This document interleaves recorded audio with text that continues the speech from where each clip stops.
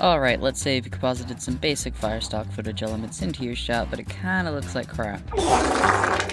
Well, to make it look a little better, 3D camera track your shot, add a plane, set the blur mode to add, and place it on the floor of your scene. Then add a 3D light, place it right above the ground, and keyframe the intensity to fluctuate up and down. And look at that, now it looks like the fire is actually illuminating the ground. I have a whilst out there to make the digital fire actually look hot, add a gray layer, place a heat distortion effect on, and add a feather mask so it's just around the fire. Alright, alright, that's looking a little better. But, can't forget the most important tip of all.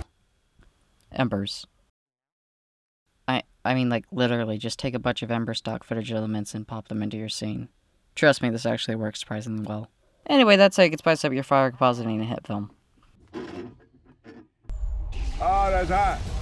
That's hot.